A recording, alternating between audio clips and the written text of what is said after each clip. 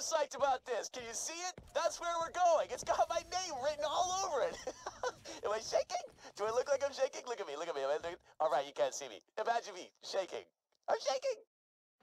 Here's the score, Jack. Oh, hey, Lilith. How you been? Jack, you and your Vault Hunters have one chance to leave this place. I'm really hoping you don't, but...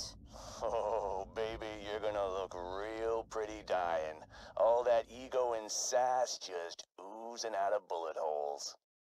Hey, body double. This all goes according to plan, your pay is gonna skyrocket, because I'm gonna be somebody people really want to kill. That's what worries me.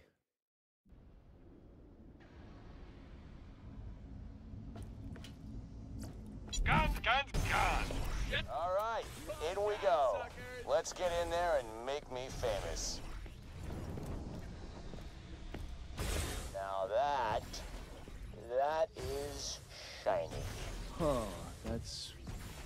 Wow.